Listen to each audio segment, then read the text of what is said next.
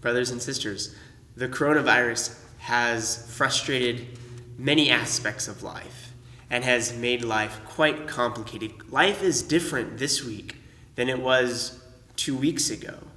And yet, the functions of the church have not ceased. Our church continues to meet digitally and live life together. We are continuing to be the church.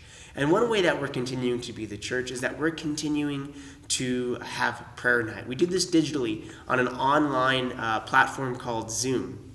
Now, uh, you all know that prayer is a major topic in Scripture and a major mark of what it means to be God's people. This is illustrated by the fact that the uh, the word the verb prayer or the verb pray or praise or prayed and the noun prayer that family word group occurs roughly 320 times in our English Bibles. Now, that number doesn't account for uh, times when the topic of prayer is present, such as when a saint asks of God something, or requests something of God, or gives thanks to God, or makes supplication to God.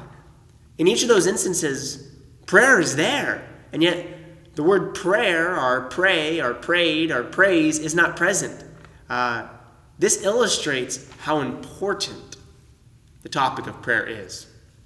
Now, this importance of prayer is also illustrated in the fact that the heroes of the Old Testament uh, are constantly portrayed as those who pray.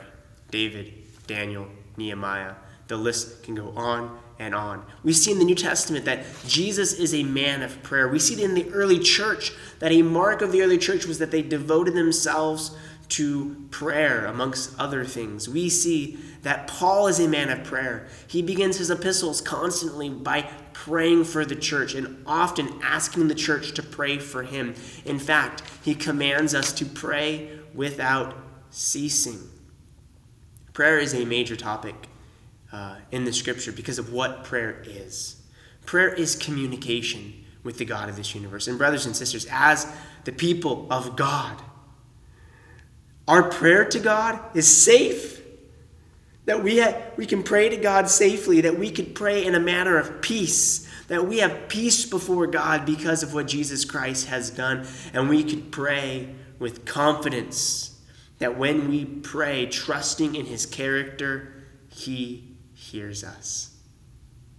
Brothers and sisters, right now, in a time of scarcity and in a time of, of uh, of, of fear and anxiety, we have the ability to pray to the God of this universe, the all powerful God who controls coronavirus.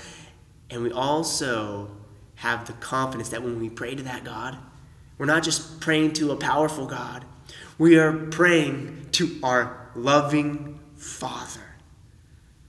Prayer is important because of what it is safe communication with the God of this universe. We are commanded to pray, and we are commanded to pray without ceasing. I invite you, brothers and sisters, to join us on Wednesday nights at 6:30 p.m. on our Zoom platform to pray together, to see one another's faces, to see one another in each other's homes, but more importantly, to take one another's prayers, to pray on behalf of one another on behalf of our church and on behalf of our community, on behalf of our world, in a time when we have desperate need. You see, especially in a season of suffering, we are commanded to pray.